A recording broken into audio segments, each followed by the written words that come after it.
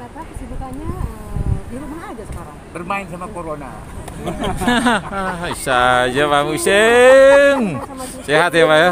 Alhamdulillah. Stres, nggak boleh apa. Iya. Pokoknya sekarang ini kita walaupun kita uh, dalam situasi seperti ini tapi hati harus tenang, sabar, berdoa supaya semuanya ini cepat berlalu. Jadi kita uh, apa terima ini semua dengan senang hati, dengan sabar hati cuma satu berdoa kan masih pasangan legend nih masih sempat nyanyi-nyanyi juga nggak sih? iya alhamdulillah sudah 48 tahun dua tahun lagi insya Allah Hmm, Iya.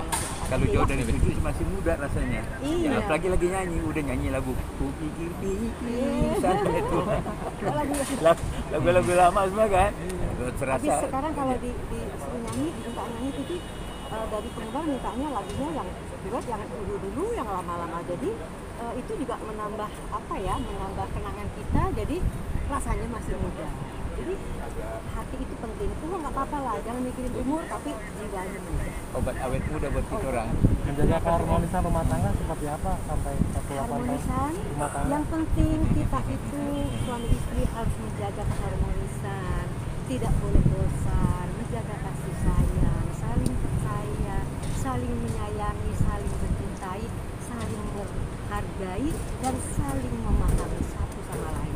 Insya Allah kalau itu semua dipegang, dijalankan, Insya Allah sampai akhir ini, ini, ini, Iya, amin. bersujud, Insya Allah Banyak berdoa. banyak berdoa. Ya, karena doa itu kata Allah Subhanahu wa taala, itu doa Allah kasih maksudnya kata Nabi Muhammad SAW itu doa dikasih senjatanya orang mukmin katanya. Jadi kita pakai itu senjata. Apa senjatanya berdoa sama Bapak. Mungkin ada cerita Dan Allah suka pada orang yang suka berdoa. Hamba yang suka berdoa, Allah suka. sendiri Cerita apa? seperti apa cerita ke situ apa kayak gimana pengalaman? Iya. Oh, kalau pengalaman juga asam garam suka duka ya. Tidak ada orang suka terus. Tentu ada tidak tidak sukanya dengan semuanya dihadapi dengan tenang dan sabar. eh, diterima dengan baik dengan besar hati. Semuanya dijalani dengan tenang. Insya Allah semuanya tenang sampai sekarang. Ya udah oke ya.